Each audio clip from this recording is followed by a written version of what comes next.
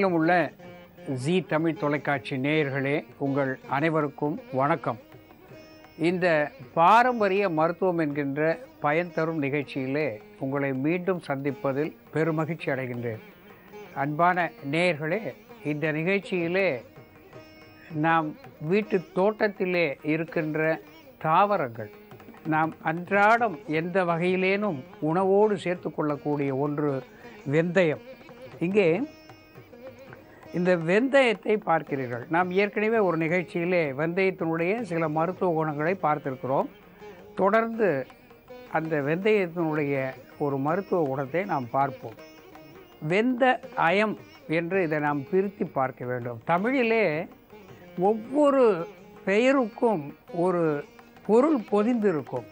ஒரு பெயருக்குள்ளே அதனுடைய பயன்பாடு அதனுடைய அருமை அங்கே பொதிந்திருக்கும். அந்த வகையிலே இதுக்கு வெந்த அயம் என்று பெயர் வைத்திருக்கிறார்கள். இது ட்ரைகோனெல்லா ஃபயனிக்கம் கிரீக்கம் என்று தாவர பெயரை பெற்றிருக்கிறது. ட்ரைகோனெல்லா ஃபயனிக்கம் கிரீக்கம் என்று. ஃபெனுக்ரீக் என்று ஆங்கிலத்திலே இதற்கு பெயரை சொல்லுவார்கள். மேத்தி என்று ஆயுர்வேதத்திலே சொல்லுவார்கள். மேத்திகா என்று ஆயுர்வேதத்திலே சொல்லுவதுண்டு. அதே போல இதற்கு பகு பத்ரிகா என்று ஆயுர்வேதத்திலே இதற்கு பெயரை சொல்லியிருக்கிறார்கள். கந்த பலா என்று ஆயுர்வேதத்திலே இதற்கு பெயரை சொல்லியிருக்கிறார்கள். அந்த வகையிலே இது பெருமையான பெயர்களை மட்டும் பெற்றிருப்பதோடு அல்லாமல் அருமையான மருத்துவ குணத்தை இது உள்ளடக்கி இருக்கின்றது இந்த வெந்த அயம் என்று சொல்லுகின்ற பொழுது வேக வைக்கப்பட்ட இரும்பு என்று பொருள்படும். நாம் இன்றைக்கு அனீமியா என்று சொல்லக்கூடிய நோயிலே அவஸ்தைப்படுகிறோம். ஹீமோகுளோபின் என்கின்ற நிலை மிக குறைவாக இருக்கிறது. வெகு சோர்வாக இருக்கிறது. உடல் அசதியாக இருக்கிறது. சோகை என்று சொல்லுவார்கள். அந்த வகையிலே இங்கே நாம் சோர்ந்து போகின்றோம். அந்த நிலைக்கு இது ஒரு மருந்தாகிறது. அதற்காக இதற்கு வெந்த அயம் என்று பெயர் வைத்தார்கள். இன்றைக்கு கடை தெருவிலே நமக்கு பணம் கொடுத்து வாங்கக்கூடிய அத்துணை மருந்துகளும் அயன் கேப்சூல்ஸ் என்று சொல்லுவார்கள் அயன் டேப்லெட்ஸ் என்று சொல்லுவார்கள் இரும்பு சத்துள்ள மாத்திரைகள். அவைகள் நமக்கு சீரணமாகாமல் நமக்கு குமட்டலை கொடுக்கக்கூடியதாக இருக்கின்றது. அதிக பொருட்செலவு ஆவது மட்டும் அல்லாமல் குமட்டலை கொடுக்கக்கூடியதாக இருக்கிறது. மலச்சிக்கலை தரக்கூடியதாக இருக்கின்றது. மலம் கழிகின்ற பொழுது மிகவும் கருத்த நிறத்தோடு அது வெளிவருவதாக இருக்கின்றது. இப்படியெல்லாம் பல பக்க விளைவுகளை கொண்டிருப்பது மனிதன் செய்கின்ற அந்த இரும்பு சத்துள்ள மாத்திரைகள். இது இறைவன் நமக்கு தந்த இரும்பு சத்துள்ள மருந்து. அதை நாம் மறந்துவிட்டோம். இப்பொழுது அதை திரும்பி பார்க்க ஆரம்பித்திருக்கிறோம். அந்த வகையிலே இது நமக்கு ஆரோக்கியத்தை தரக்கூடியதாக இருக்கின்றது. இதிலே ஃபைபர் என்று சொல்லுவார்கள். நார் சத்து என்பது மிகுதியாக இருக்கின்றது. இதிலே இரும்பு சத்து அதிகமாக இருக்கின்றது. கால்சியம் என்று சொல்லக்கூடிய சுண்ணாம்பு சத்து வெகுவாக இதிலே பொதிந்து இருக்கின்றது. இது மலச்சிக்கலை போக்கக்கூடியது. ஃபைபர் என்று சொல்லுகின்ற பொழுது வயதானவர்களுக்கு குறிப்பாக சர்க்கரை நோயாளிகளுக்கு இந்த மலச்சிக்கல் என்பது கண்டிப்பாக ஒரு தொடர்ந்து இருக்கக்கூடிய ஒரு நோயாக இருக்கின்றது.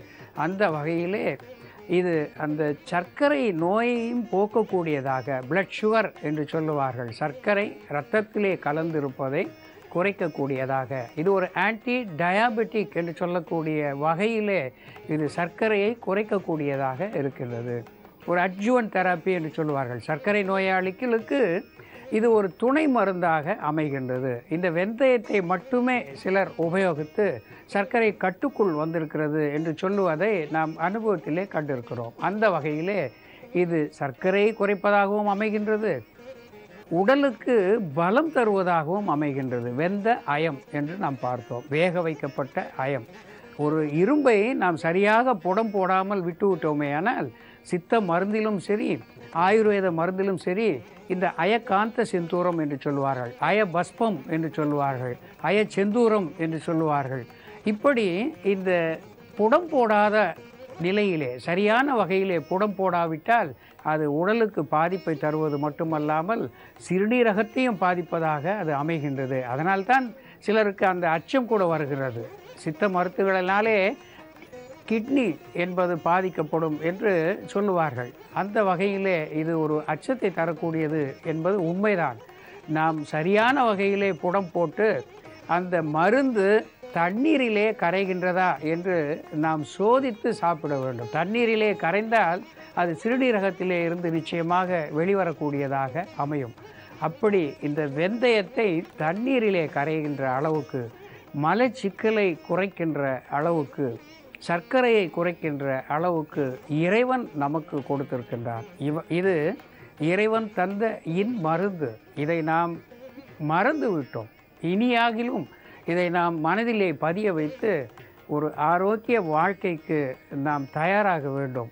அன்பான நேயர்களே ஒரு சிறிய இடைவேளைக்கு பிறகு இந்த வெந்தயத்தினுடைய மருத்துவ குணத்தை நாம் தொடர்ந்து பார்ப்போம். அன்பான நேயர்களே இந்த வெந்தயம் அதனுடைய மருத்துவ குணத்தை பற்றி நாம் பார்த்து வருகின்றோம். வெந்தயம் வெந்த அயம் என்று நாம் பார்த்தோம். அது வெந்தயத்தை இங்கே பார்க்கிறீர்கள். அதனுடைய கீரைகள் வெந்தய கீரை பகுபத்திரிகா என்று இதற்கு பெயர் வைத்திருக்கிறார்கள். நிறைய கீரைகளை இது நமக்கு தரக்கூடியது.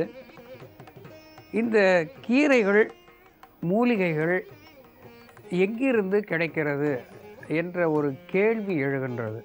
இதை எங்கே பெறுகிறோம் என்று முயற்சி இருந்தால் அங்கே விளைவு நிச்சயம் இருக்கும். மனம் இருந்தால் மார்க்கம் உண்டு என்ற ஒரு மொழி இங்கே உண்டு.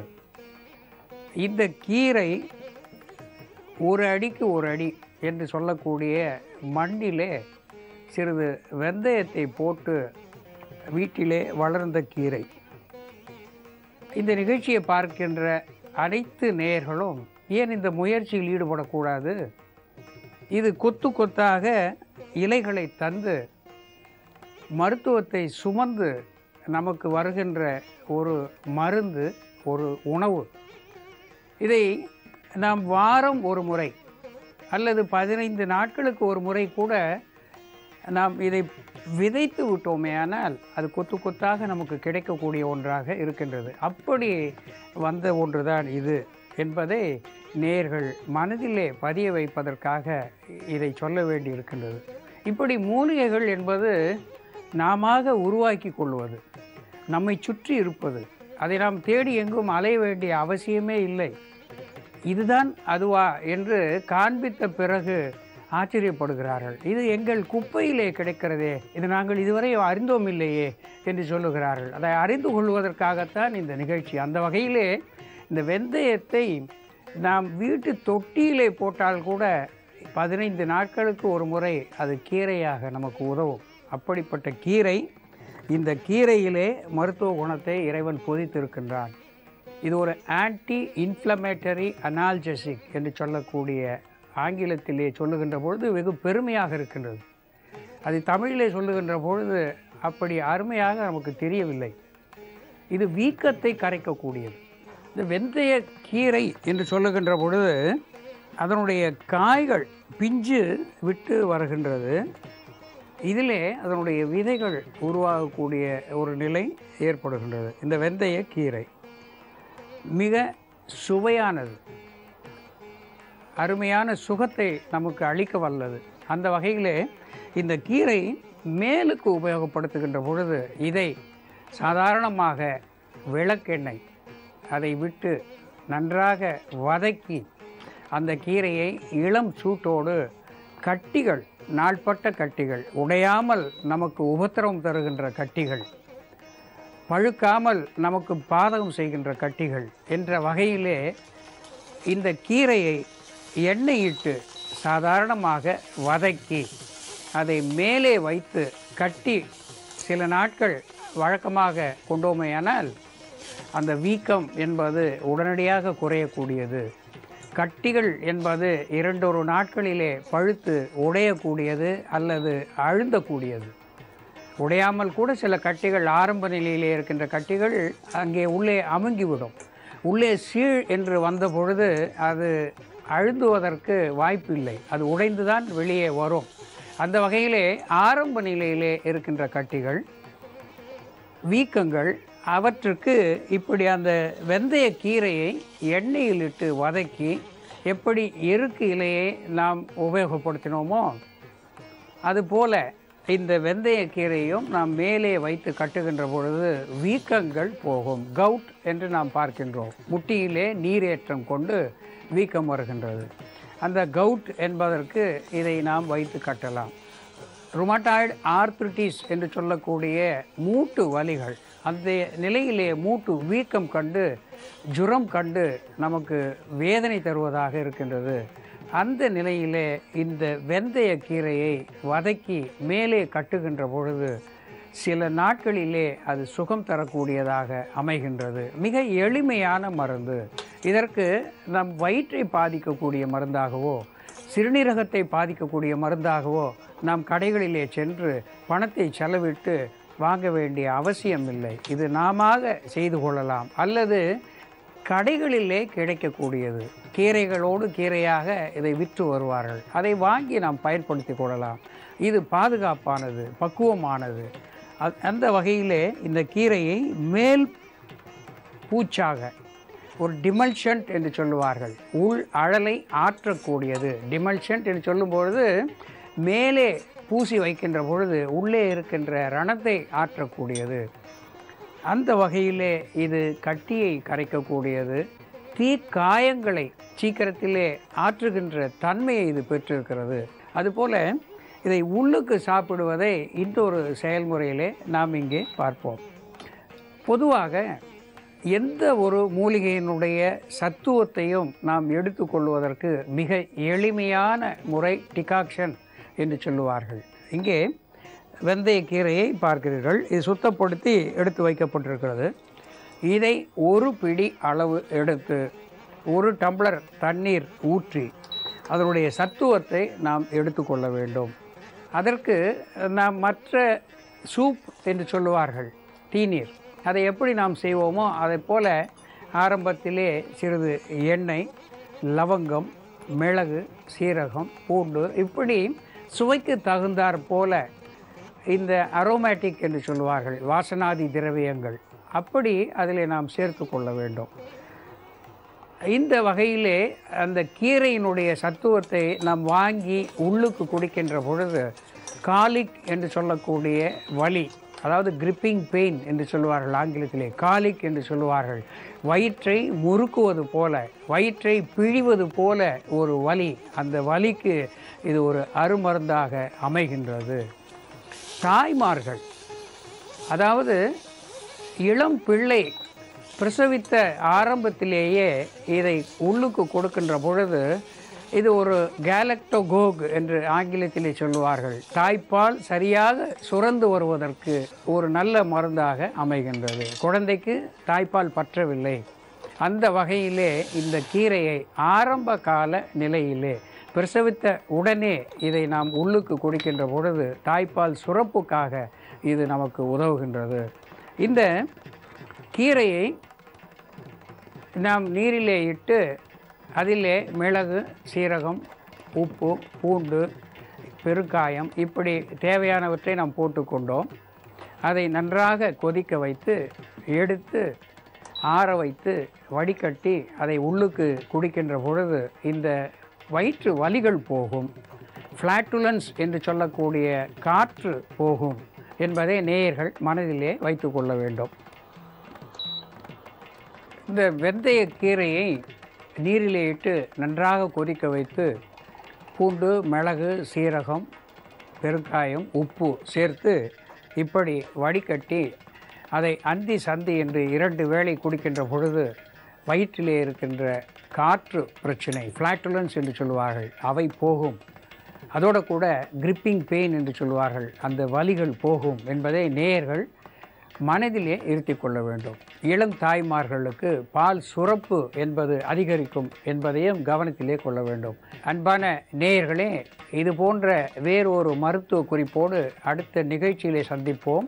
இப்பொழுது உங்களை அடுத்த பகுதிக்கு அழைத்துச் செல்கின்றேன். அன்பான நேயர்களே இன்றைய மருத்துவ ஜோதிடம் பகுதியிலே பல கடிதங்கள் வந்திருந்த போதிலும் அதிலே இருந்து ஒன்று இங்கே தேர்வு செய்யப்பெற்று பதில் இருக்கப்படுகின்றது அந்த கடிதம் திருமதி புவனா வினோத்குமார் என்பவர் சேலத்திலே இருந்து எழுதியிருக்கிறார்.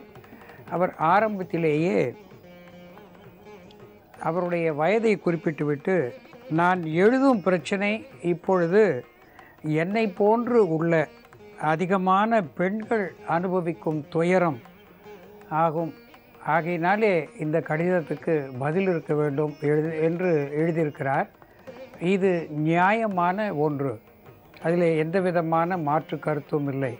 இவர் குறித்திருக்கும் பிரச்சனை இவர் குறித்திருக்கும் நோய் இன்றைக்கு பெண்களை பாதித்து பல துன்பங்களை தருவதாக அது அமைகின்றது. அந்த வகையிலே இந்த திருமதி புவனா வினோத்குமார் என்கின்ற மகள் எழுதியிருக்கின்றார். கர்ப்பப்பையில் உள்ள நீர்க்கட்டியினால் குழந்தையின்மை என்கின்ற ஒரு தலைப்பை அங்கே சிவப்பு வண்ணத்திலே குறித்து எழுதியிருக்கின்றார். இந்த கருப்பையிலே கட்டி என்று வருகின்ற பொழுது இன்றைக்கு நூற்றுக்கு தொண்ணூற்று ஒன்பது பெண்களுக்கு திருமணம் ஆனவர்கள் ஆகாதவர்கள் ஆகியவர்களுக்கும் இந்த மாதவிடாய் கோளாறு என்பது இருந்து வருவது அனைவருக்கும் அறிந்த ஒன்று. அதே நேரத்திலே நாம் மருத்துவமனைக்கு செல்லுகின்ற பொழுது பரிசோதித்து சொல்லுகின்ற பொழுது அங்கே பாலிசிஸ்டிக் ஓவரிஸ் என்று ஒரு வார்த்தையை அங்கே உபயோகப்படுத்துவார்கள். பல்கி யூட்டரஸ் என்று அந்த கருப்பையிலே வீக்கமாக இருக்கிறது என்று எழுதுவார்கள். நீர் கட்டிகள் அங்கே அதிகமாக இருக்கிறது என்று அங்கே குறிப்பிட்டு சொல்லுவார்கள். அந்த வகையிலே இவருக்கு திருமணமாகி மூன்று ஆண்டுகள் ஆகிறது. இன்னும் குழந்தை இல்லை. மருத்துவரை அணுகிய பொழுது கர்ப்பப்பையிலே கட்டிகள் இருந்ததாக அவர் எழுதியிருக்கிறார். இறைவனுடைய அனுமதி இல்லாமல் மனிதனால் படைப்பை செய்ய முடியாது. அதனாலே தான் இங்கே இருந்து கருமுட்டையை எடுக்கிறேன் அங்கே இருந்து விந்தை எடுக்கிறேன் இரண்டையும் ஒன்றாக சேர்த்து அதை கருவாக உருவாக்குகிறேன் என்று மனிதர்கள் விளையாட்டு காண்பிக்கின்றார்கள். அது நம்மளுடைய நேரம் சரியாக இருந்தால் நம்மளுடைய தலையெழுத்து சரியாக இருந்தால் அது காக்காய் உட்கார பணம் பழம் விழுந்தது என்று சொல்லுவார்கள். அதை போல ஒரு கோ இன்சிடென்ஸ் என்று ஆங்கிலத்திலே சொல்லுவார்கள். அந்த வகையிலே நம்மளுடைய நேரம் சரியாக இருக்கும்பொழுது வேண்டுமானால் இந்த மனிதனுடைய மருத்துவ அறிவு அங்கே படைப்புக்கு உதவும். மற்ற வகையிலே இறைவன்தான் இதை நிர்ணயம் செய்ய வேண்டும். அந்த வகையிலே பெண்களுடைய கருப்பையை சுத்தப்படுத்தி கொண்டார்களேயானால் அங்கே நிலம் என்கின்ற அமைப்பு தான் பெண்களுக்கு. எந்த விதை போட்டாலும் அதை வாங்கி அதை ஒன்றுக்கு நூறாக்கி விவசாயிக்கு மீண்டும் கொடுக்கக்கூடிய ஒரு தன்மை தான் இவர்களுக்கு. அதை போல இவர் மீண்டும் அனைத்து டெஸ்ட்டுகளும் எடுத்து பார்த்தோம். எனக்கும் என் கணவருக்கும் எல்லாமே நார்மல் என்கின்ற ரிசல்ட் வந்தது என்று எழுதியிருக்கிறார். எல்லாமே நார்மலாக இருக்கும் பொழுது கரு தரிப்பது இறைவன் கொடுத்தது. அதனால்தான் அடுத்து முயன்றாலும் ஆகுங்கால் ஆகும் என்கின்ற ஒரு பழமொழியை நமக்கு சொல்லியிருக்கின்றார்கள். அதோட கூட ஆகுழால் தோன்றும் அசைவின்மை மற்றும் போகுழால் தோன்றும் மடி என்ற ஒரு குரலை வள்ளுவ பெருந்தகை சொல்லியிருக்கின்றார். நல்ல நேரம் வருகின்ற பொழுது நமக்கு எல்லாமே முயற்சி இல்லாமல் வந்து சேரக்கூடியது என்பதை அவர் வலியுறுத்துகிறார். ஆகுள் என்று சொல்லுகின்ற பொழுது ஆகும் காலம் நல்ல நேரம் என்பதை அவர் மறுக்கவில்லை. வள்ளுவ பெருந்தகை அந்த நல்ல நேரம் வரும்போது எல்லாமே நமக்கு தங்கும். கெட்ட நேரம் வரும்பொழுது ஏதும் தங்காமல் விலகிவிடும் என்பதை அவர் வலியுறுத்தி கூறியிருக்கிறார். அந்த வகையிலே காலம் நேரம் கணிந்து வருகின்ற பொழுது இவருக்கு அந்த கரு என்பது நிற்கக்கூடிய ஒரு அமைப்பு உண்டு. அந்த கரு பையிலே ஆரோக்கியம் வரக்கூடிய ஒரு அமைப்பு உண்டு என்பதை இவர் மனதிலே பதிய வைத்து கொள்ள வேண்டும். அதோடு கூட இந்த நிகழ்ச்சியை தொடர்ந்து பார்த்து மருத்துவ குறிப்புகளை பயன்படுத்தி வருகின்றேன். மற்றவர்களுக்கும் நான் சொல்லி வருகின்றேன் என்று எழுதியிருக்கிறார். அவருக்கு நான் நன்றி கூற கடமைப்பட்டிருக்கின்றேன். இந்த நீர்க்கட்டி பிரச்சனை சரியாகி விரைவில் குழந்தை பிறக்கவும் உடல் எடை எழுபத்தைந்து கிலோ என்பது இருக்கிறது. அது குறையவும் தாங்கள் இந்த நிகழ்ச்சியிலே கூற வேண்டும் என்று சொல்லியிருக்கின்றார்கள். இந்த நீர்க்கட்டி என்பது சாதாரணமாக நாம் இந்த நிகழ்ச்சியிலே சொல்லி பல ஆயிரவர் பயன்படுத்தி நமக்கு சொன்ன ஒரு மருத்துவம் கழற்சிக்காயும் மிளகும். இதை மீண்டும் மீண்டும் இங்கே சொல்லக்கூடிய ஒரு நிலை ஏற்படுகின்றது. ஏனென்றால் லட்சக்கணக்கான கோடிக்கணக்கான பெயர்களை இது பாதிக்கக்கூடியதாக இருப்பதினாலே ஒரு கழற்சிக்காயோடு ஐந்து மிளகு சேர்த்து அதை அன்றாடம் காலை மாலை என்று ஒரு மண்டலம் சாப்பிடுகின்ற பொழுது இந்த நீர்க்கட்டிகள் அங்கே குறைந்து அவருக்கு கரு தங்க வேண்டிய ஒரு நிலை ஏற்படும். அதோட கூட கும்பகோணம் அருகே திருத்தேவன்குடி என்று ஒரு ஊர் இருக்கின்றது. அங்கே நண்டு கோயில் என்று சொல்லக்கூடிய கற்கடகேஸ்வரர் ஈஸ்வரனாக அமர்ந்து அருள்பாலிக்கின்றார். அருள் மருந்து நாயகி அற்புத நாயகி என்று இரண்டு அம்மன்களை பெற்ற கோயில். அந்த கோயிலிலே அபிஷேக எண்ணெய் வாங்கி வந்து கணவன் மனைவி இருவருமாக அதை உண்டு வருகின்ற பட்சத்திலே இறைவனுடைய அருளும் கூடும். இந்த கடற்சிக்காய் மிளகு என்பது இவருடைய கருப்பையை சுத்தப்படுத்தும் என்று சொல்லி இது போன்ற வேறு ஒரு கடிதத்தோடு உங்களை மீண்டும் சந்திக்கின்ற வரையில் உங்களிடமிருந்து விடைபெறுகின்றேன். நன்றி வணக்கம்.